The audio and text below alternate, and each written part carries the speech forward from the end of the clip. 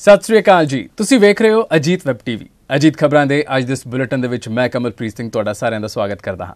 ਤੇ ਰੋਜ਼ਾਨਾ ਦੀ ਤਰ੍ਹਾਂ, ਆਓ ਸਭ ਤੋਂ ਪਹਿਲਾਂ ਇੱਕ ਝਾਤ ਅੱਜ ਦੀਆਂ ਚੁਣਵੀਆਂ ਖਬਰਾਂ ਤੇ। ਪਾਕ ਫੌਜ ਮੁਖੀ ਨਾਲ ਸਿੱਧੂ ਦੀ ਜੱਫੀ ਕੈਪਟਨ ਅਮਰਿੰਦਰ ਸਿੰਘ ਨੂੰ ਨਹੀਂ ਮਨਜ਼ੂਰ। ਬਰਨਾਲਾ ਭੋਗ ਸਮਾਗਮ 'ਚ ਇਕੱਠੇ ਹੋਏ ਕੇਜਰੀਵਾਲ ਤੇ ਸੁਖਪਾਲ ਸਿੰਘ ਖਹਿਰਾ ਨੇ ਬਣਾਈ ਰੱਖੀ ਦੂਰੀ। ਖਮਾਨੋ ਨੇੜੇ ਨਿਰਮਾਣ ਅਧੀਨ ਸ਼ੈਲਰ ਦੀ ਕੰਧ ਡਿੱਗਣ ਕਾਰਨ ਦੱਬੇ ਮਜ਼ਦੂਰ 6 ਦੀ ਮੌਤ। ਬਠਿੰਡਾ 'ਚ ਈਟੀਟੀ ਟੈਟ ਪਾਸ ਅਧਿਆਪਕਾਂ ਨੇ ਭੀਖ ਮੰਗ ਕੇ ਕੀਤਾ ਪ੍ਰਦਰਸ਼ਨ। ਅਤੇ ਸੁੱਖਾ ਕਾਲਵਾ ਨਾਲ ਸਬੰਧਾਂ ਦੇ ਸ਼ੱਕ 'ਚ ਬਲਾਚੌਰ ਦਾ ਨੌਜਵਾਨ ਗ੍ਰਿਫਤਾਰ, ਮਾਂ ਨੇ ਮੁੱਖ ਮੰਤਰੀ ਤੋਂ ਕੀਤੀ ਇਨਸਾਫ ਦੀ ਮੰਗ। ਤੇ ਹੁਣ ਇਹਨਾਂ ਖਬਰਾਂ ਦਾ ਵਿਸਥਾਰ। ਪੰਜਾਬ ਦੇ ਕੈਬਨਿਟ ਮੰਤਰੀ ਨਵਜੋਤ ਸਿੰਘ ਸਿੱਧੂ ਦੇ ਪਾਕਿਸਤਾਨ ਦੌਰੇ ਤੇ ਵਿਰੋਧੀਆਂ ਦੇ ਹਮਲਿਆਂ ਦਰਮਿਆਨ ਕੈਪਟਨ ਅਮਰਿੰਦਰ ਸਿੰਘ ਨੇ ਚੁੱਪੀ ਤੋੜਦਿਆਂ ਕਿਹਾ ਕਿ ਨਵਜੋਤ ਸਿੰਘ ਸਿੱਧੂ ਇਮਰਾਨ ਖਾਨ ਦੇ ਸਹੁੰ ਚੁੱਕ ਸਮਾਗਮ ਵਿੱਚ ਨਿੱਜੀ ਤੌਰ ਤੇ ਗਏ ਸਨ। ਇਸ ਨਾਲ ਸਰਕਾਰ ਦਾ ਕੋਈ ਲੈਣ ਦੇਣ ਨਹੀਂ। ਸਿੱਧੂ ਵੱਲੋਂ ਪਾਕਿਸਤਾਨ ਦੇ ਫੌਜ ਮੁਖੀ ਨੂੰ ਜੱਫੀ ਪਾਉਣ ਬਾਰੇ ਕੈਪਟਨ ਦਾ ਕਹਿਣਾ ਹੈ ਕਿ ਉਹ ਇਸ ਦਾ ਸਮਰਥਨ ਨਹੀਂ ਕਰਦੇ। ਉਹਨਾਂ ਕਿਹਾ ਕਿ ਰੋਜ਼ਾਨਾ ਸਾਡੇ ਜਵਾਨ ਸ਼ਹੀਦ ਹੁੰਦੇ ਹਨ ਅਤੇ ਸਿੱਧੂ ਵੱਲੋਂ ਪਾਕ ਫੌਜ ਮੁਖੀ ਪ੍ਰਤੀ ਪਿਆਰ ਦਿਖਾਉਣਾ ਗਲਤ ਸੀ। ਉਧਰ ਪਾਕਿਸਤਾਨ ਤੋਂ ਭਾਰਤ ਪਰਤੇ ਨਵਜੋਤ ਸਿੰਘ ਸਿੱਧੂ ਨੇ ਮਾਮਲੇ ਤੇ ਬੋਲਦਿਆਂ ਕਿਹਾ ਕਿ ਬਾਜਵਾ ਨੇ ਗੁਰੂ ਨਾਨਕ ਦੇਵ ਜੀ ਦੇ 550ਵੇਂ ਗੁਰਪੁਰਬ ਤੇ ਕਰਤਾਰਪੁਰ ਰਾਹ ਖੋਲਣ ਦੀ ਗੱਲ ਕੀਤੀ ਤੇ ਕਿਹਾ ਕਿ ਅਸੀਂ ਇੱਕੋ ਸੱਭਿਆਚਾਰ ਨਾਲ ਸੰਬੰਧਿਤ ਹਾਂ ਤਾਂ ਅਜਿਹੇ 'ਚ ਮੈਂ ਕੀ ਕਰ ਸਕਦਾ ਸੀ? ਇਸਲਾਮਾਬਾਦ 'ਚ ਸੌ ਚੁੱਕ ਸਮਾਗਮ ਦੌਰਾਨ ਪਾਕਿਸਤਾਨ ਦੇ ਅਧਿਕਾਰ ਖੇਤਰ ਵਾਲੇ ਕਸ਼ਮੀਰ ਦੇ ਰਾਸ਼ਟਰਪਤੀ ਮਸੂਦ ਖਾਨ ਨਾਲ ਬੈਠਣ ਤੇ ਸਫ਼ਾਈ ਦਿੰਦਿਆਂ ਸਿੱਧੂ ਨੇ ਕਿਹਾ ਕਿ ਉਹ ਉੱਥੇ ਮਹਿਮਾਨ ਦੇ ਤੌਰ ਤੇ ਗਏ ਸਨ ਅਜਿਹੇ 'ਚ ਜਿੱਥੇ ਬੈਠਣ ਲਈ ਕਿਹਾ ਗਿਆ ਉੱਥੇ ਬੈਠੇ There are soldiers are being killed every day. My own regiment lost one major and two jawans a few months ago. And how can it be that every day somebody is being shot? And whether the man who pulled the trigger is to blame or the man who gives the order, which is the chief. And the chief is Mr. General Bajwa. And to say that I don't know General Bajwa, but यहाँ लिखा होता है उनके tunic के ऊपर, that's wrong. And I think that was wrong for him to have uh, uh, shown the affection he did for the Pakistani army chief. Uh, sir, कल बड़ी crucial meeting है ज्वाइंट मीटिंग है शायद which is hosted by the Haryana CM. Sorry? Part of this meeting, sir, uh, to discuss Yes, the drug issue. actually, Mr. Khattar spoke to me three days ago, and he says that uh, we want to have a joint meeting with Himachal, Haryana, and Punjab on the drug issue. This drug issue has been going on in Punjab for over a year, and it's been very success- successful. And I think the other states want to align with us, and we should work together because this is a, a war to um, uh, get our youth out of this mess that they are in. And I think Yes, but basically, I hope that uh, when we wo- work together, we will be able to control it in a larger way because it has spread to Himachal, it has spread to Haryana, and it's necessary for all of us to work together. And we are there to assist them, to tell them all what we've done so that we can really put our heads together on this issue. Delhi ਦੇ ਮੁੱਖ ਮੰਤਰੀ ਤੇ ਆਮ Aadmi party ਦੇ ਕੌਮੀ convener Arvind Kejriwal ਅੱਜ ਪੰਜਾਬ ਪਹੁੰਚੇ।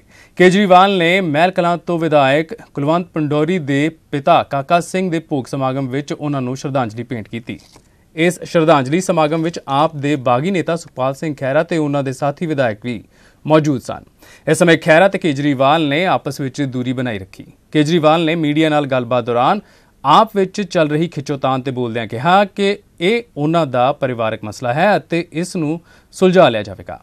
ਇਸ ਸਮੇਂ ਸੁਖਪਾਲ ਸਿੰਘ ਖਹਿਰਾ ਨੇ ਕਿਹਾ ਕਿ ਕੇਜਰੀਵਾਲ ਦੇ ਆਉਣ ਦੀ ਉਹਨਾਂ ਨੂੰ ਕੋਈ ਜਾਣਕਾਰੀ ਨਹੀਂ ਸੀ ਅਤੇ ਨਾ ਹੀ ਉਹਨਾਂ ਨੂੰ ਕੋਈ ਮੀਟਿੰਗ ਕਰਨ ਲਈ ਸੱਦਾ ਪੱਤਰ ਦਿੱਤਾ ਗਿਆ ਹੈ आज सरदार काका सिंह जी के देहांत पे हम भोग में अरदास करने के लिए आए थे और हमारे जो एमएलए साहब हैं कुलवंत सिंह जी उनके पिताजी थे ये पूरा परिवार ने बहुत संघर्ष किया है बहुत गरीबी के अंदर ये परिवार जिया है और कुलवंत सिंह जी इस टाइम अपने हलके में काफ़ी अच्छा काम कर रहे हैं।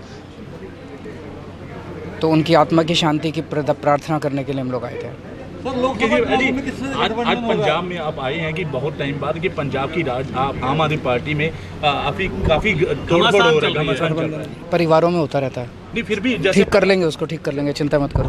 आज आज देखने को भी मिला केजरीवाल आप सुखपाल सिंह खैरा अलग बैठे थे उनका भी नाराज़ कई दिनों से नाराज़गी चल ये भी मेरे से बड़ी दूर बैठे थे मनीष सिसोदिया जी भी। चिंता ना करो।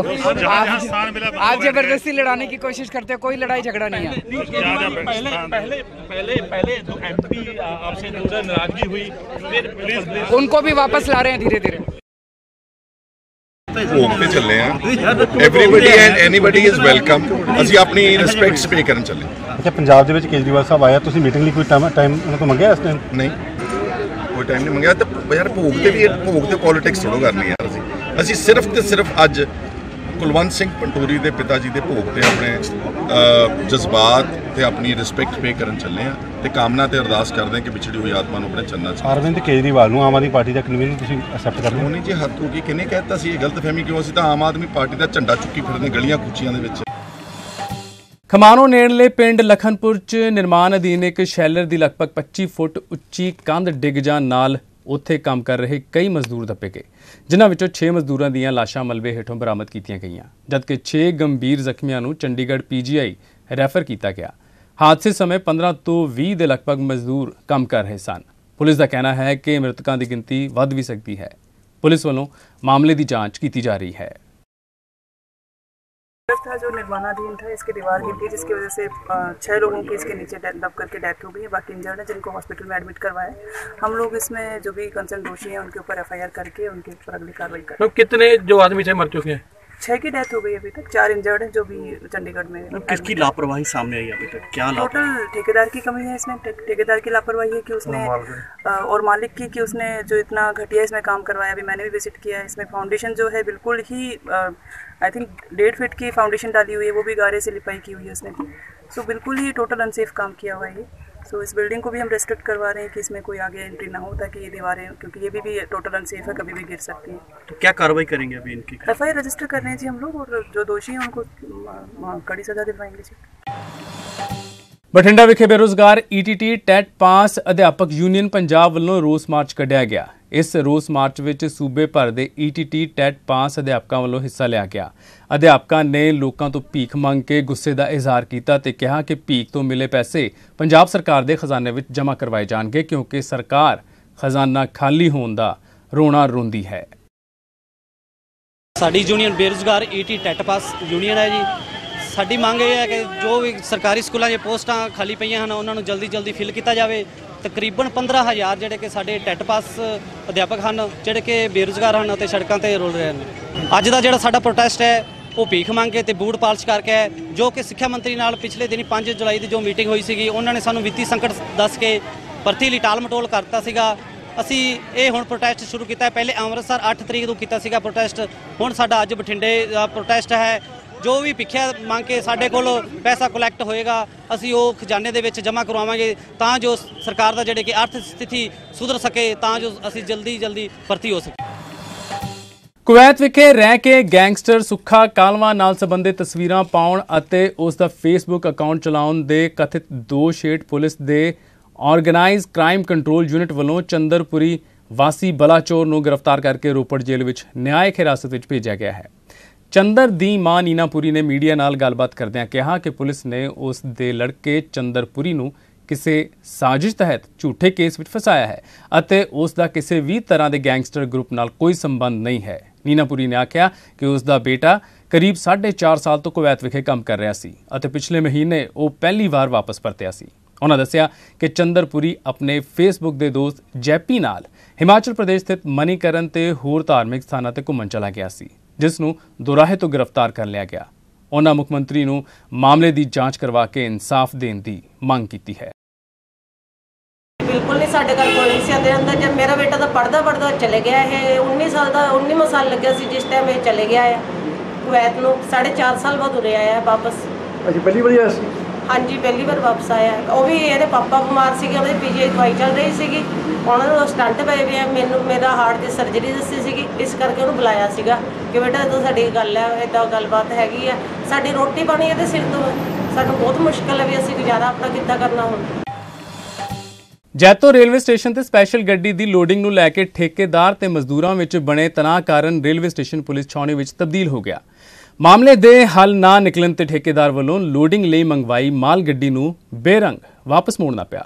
ਉਕਤ ਮਾਲ ਗੱਡੀ ਵਿੱਚ ਚੋਲਾਂ ਦੀ ਲੋਡਿੰਗ ਹੋਣੀ ਸੀ। ਕਿਸੇ ਅਨਹੋਣੀ ਦੇ ਡਰੋਂ ਪੁਲਿਸ ਵੱਲੋਂ ਗਸ਼ਤ ਵੀ ਵਧਾਈ ਗਈ ਹੈ। ਬੀਤੀ ਰਾਤ ਮਾਛੀਵਾੜਾ ਨੇੜੇ ਸਰਹੰਦ ਨਹਿਰ 'ਚੋਂ ਲਾਪਤਾ ਪ੍ਰਵਾਸੀ ਮਜ਼ਦੂਰ ਪਵਨ ਕੁਮਾਰ ਦੀ ਲਾਸ਼ ਮਿਲਣ ਤੋਂ ਬਾਅਦ ਸੈਂਕੜੇ ਪ੍ਰਵਾਸੀ ਮਜ਼ਦੂਰਾਂ ਨੇ ਚਮਕੌਰ ਸਾਹਿਬ ਰੂਪਨਗਰ ਮਾਰਗ ਤੇ ਧਰਨਾ ਮਾਰ ਕੇ ਆਵਾਜਾਈ ਨੂੰ ਮੁਕੰਮਲ ਰੂਪ ਵਿੱਚ ਠੱਪ ਕਰ ਦਿੱਤਾ। ਪ੍ਰਵਾਸੀ ਮਜ਼ਦੂਰ 15 ਅਗਸਤ ਤੋਂ ਲਾਪਤਾ ਸੀ। ਪੰਜਾਬ ਪੁਲਿਸ ਅਤੇ ਪੰਜਾਬ ਸਰਕਾਰ ਵਿਰੁੱਧ ਜ਼ੋਰਦਾਰ ਨਾਅਰੇਬਾਜ਼ੀ ਕਰਦਿਆਂ ਦੋਸ਼ ਲਗਾਏ ਜਾ ਰਹੇ ਸਨ ਕਿ ਪੁਲਿਸ ਨੇ ਉਹਨਾਂ ਦੀ ਸੁਣਵਾਈ ਨਹੀਂ ਕੀਤੀ ਕਿਉਂਕਿ ਲਾਪਤਾ ਪ੍ਰਵਾਸੀ ਮਜ਼ਦੂਰ ਦੇ ਪਰਿਵਾਰਕ ਮੈਂਬਰਾਂ ਨੇ ਪਹਿਲਾਂ ਹੀ ਖਦਸ਼ਾ ਜ਼ਾਹਿਰ ਕੀਤਾ ਸੀ ਕਿ ਜਿੱਥੇ ਪਵਨ ਕੁਮਾਰ ਨੌਕਰੀ ਕਰਦਾ ਸੀ, ਉਹਨਾਂ ਤੋਂ ਪੈਸੇ ਮੰਗਣ ਤੇ ਉਹਨਾਂ ਤੇ ਪਵਨ ਕੁਮਾਰ ਨੂੰ ਗਾਇਬ ਕਰ ਦਿੱਤਾ। ਬੀਤੀ ਰਾਤ ਪਾਣੀ 'ਚੋਂ ਲਾਸ਼ ਮਿਲਣ ਤੇ ਅੱਜ ਸਵੇਰ ਤੋਂ ਹੀ ਪ੍ਰਵਾਸੀ ਮਜ਼ਦੂਰ ਇਕੱਠੇ ਹੋ ਕੇ ਕਤਲ ਦਾ ਮਾਮਲਾ ਦਰਜ ਕਰਨ ਦੀ ਮੰਗ ਕਰ ਰਹੇ ਹਨ। ਪੁਲਿਸ ਅਨੁਸਾਰ ਉਹਨਾਂ ਵੱਲੋਂ ਲਾਪਤਾ ਪ੍ਰਵਾਸੀ ਮਜ਼ਦੂਰ ਦੀ ਭਾਲ ਕੀਤੀ ਜਾ ਰਹੀ ਸੀ ਅਤੇ ਅੱਜ ਪਰਿਵਾਰਕ ਮੈਂਬਰਾਂ ਦੇ ਬਿਆਨਾਂ ਤੇ ਕਾਰਵਾਈ ਨੂੰ ਅਮਲ ਵਿੱਚ ਲਿਆਂਦਾ ਜਾ ਰਿਹਾ ਹੈ। ਇਸ ਮਾਮਲੇ ਵਿੱਚ ਪੁਲਿਸ ਵੱਲੋਂ ਕੁਝ ਨੌਜਵਾਨਾਂ ਨੂੰ ਹਿਰਾਸਤ ਵਿੱਚ ਲੈ ਕੇ ਪੁੱਛਗਿੱਛ ਕੀਤੀ ਜਾ ਰਹੀ ਹੈ। ਸੰਗਰੂਰ ਦਿੱਲੀ ਮੁੱਖ ਮਾਰਗ ਤੇ ਪੁਰਾਣੇ ਸੇਲ ਟੈਕਸ ਬੈਰੀਅਰ ਕੋਲ ਇੱਕ ਹੋਟਲ ਦੇ ਸਾਹਮਣੇ ਸੜਕ ਤੇ ਖੜੇ ਕੈਂਟਰ ਨਾਲ ਕਾਰ ਦੀ ਟੱਕਰ ਹੋ ਜਾਣ ਕਾਰਨ ਇੱਕ ਔਰਤ ਦੀ ਮੌਤ ਹੋ ਗਈ। ਜਾਣਕਾਰੀ ਮੁਤਾਬਕ ਕਾਰ ਸਵਾਰ ਪਤੀ ਪਤਨੀ ਰਾਜਸਥਾਨ ਦੇ ਕੋਟਾ ਬੂੰਦੀ ਸ਼ਹਿਰ ਵਿਖੇ ਪੜ੍ਹਾਈ ਕਰ ਰਹੇ ਆਪਣੇ ਬੇਟੇ ਨੂੰ ਮਿਲ ਕੇ ਵਾਪਸ ਜਾ ਰਹੇ ਸਨ।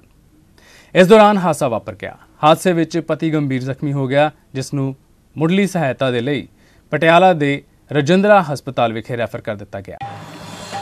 ਸਾਬਕਾ ਪ੍ਰਧਾਨ ਮੰਤਰੀ ਅਟਲ ਬਿਹਾਰੀ ਵਾਜਪਾਈ ਦੀਆਂ ਅਸਥੀਆਂ ਅੱਜ ਹਰਿਦੁਆਰ 'ਚ ਹਰ ਕੀ ਪੌੜੀ ਵਿਖੇ ਉਹਨਾਂ ਵੱਲੋਂ ਗੋਦ ਲਈ ਗਈ ਧੀ ਨਮਿਤਾ ਵੱਲੋਂ ਜਲ ਪ੍ਰਵਾਹ ਕੀਤੀਆਂ ਗਈਆਂ। ਇਸ ਮੌਕੇ ਕੇਂਦਰੀ ਗ੍ਰਹਿ ਮੰਤਰੀ ਰਾਜਨਾਥ ਸਿੰਘ ਅਤੇ ਭਾਜਪਾ ਦੇ ਕੌਮੀ ਪ੍ਰਧਾਨ ਅਮਿਤ ਸ਼ਾਹ ਵੀ ਮੌਜੂਦ।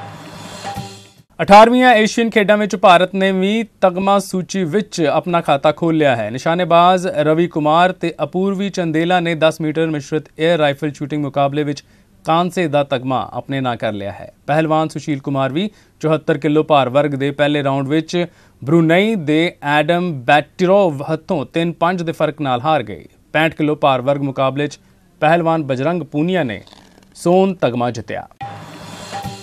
ਤੇ ਇਸ ਦੇ ਨਾਲ ਹੀ ਅਜੀਤ ਖਬਰਾਂ ਦਾ ਅੱਜ ਦਾ ਬੁਲੇਟਿਨ ਇੱਥੇ ਹੀ ਖਤਮ ਹੁੰਦਾ ਹੈ। ਕੱਲ ਤੁਹਾਡੀ ਖidmat ਦੇ ਵਿੱਚ ਤਾਜ਼ਾ ਤਰੀਨ ਖਬਰਾਂ ਦਾ ਇੱਕ ਹੋਰ ਬੁਲੇਟਿਨ ਲੈ ਕੇ ਫਿਰ ਹਾਜ਼ਰ ਹੋਵਾਂਗੇ। ਤਦ ਤੱਕ ਦੇ ਲਈ ਤੁਸੀਂ ਵੇਖਦੇ ਰਹੋ ਅਜੀਤ ਵੈਬ ਟੀਵੀ।